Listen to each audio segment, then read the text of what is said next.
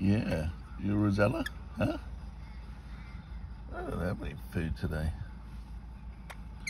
Yeah, hello.